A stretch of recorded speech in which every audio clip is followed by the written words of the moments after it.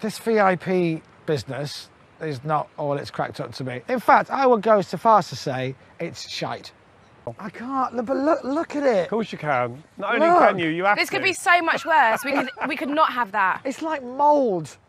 It's not mould. It's, It's just like a student flat. It's designer mould though, it's been done deliberately.